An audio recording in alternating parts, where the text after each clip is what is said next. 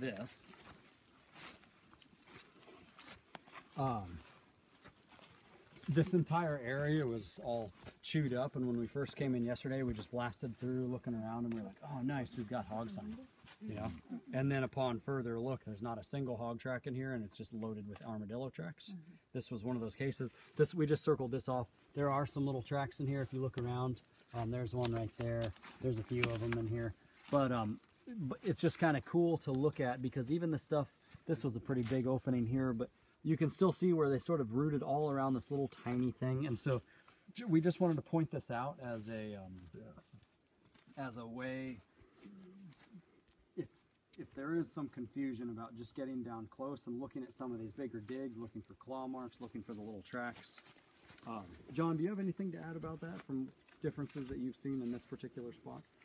Um, for hog, Yeah. everything. Um, no, I mean we we do see a lot along the main roads, and it's Got it. more obvious. But Cool.